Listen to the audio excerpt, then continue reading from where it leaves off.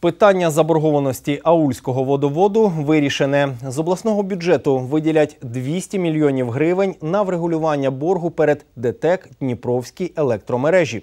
З 1 жовтня компанія збиралася відключити водовід від енергопостачання. За словами генерального директора КП Аульський водовід Віталія Неопрятного, зазначена сума це борг за попередній період ще з 2006 року. Поточної заборгованості у підприємства немає. До того ж, водовід уже отримав ліцензію, аби самостійно закуповувати електроенергію у державного підприємства Оператор ринку.